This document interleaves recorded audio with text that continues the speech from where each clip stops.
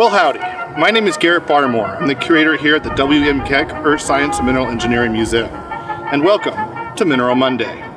Let's go check out some minerals.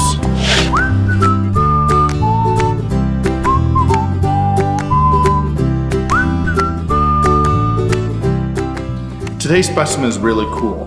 Generally, when we think about minerals and rocks, we're talking about formation over the course of millions of years.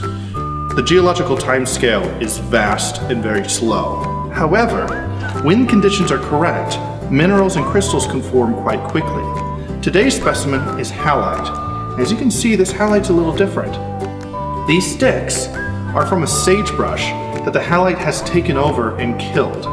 And this happened relatively quickly. Halite is generally white or colorless, and it forms these beautiful cubular crystals. Halite is found where salt water has evaporated, such as dry lake beds, playa, or salt marshes. Now halite itself is related to salt, and when you taste it, it is salty.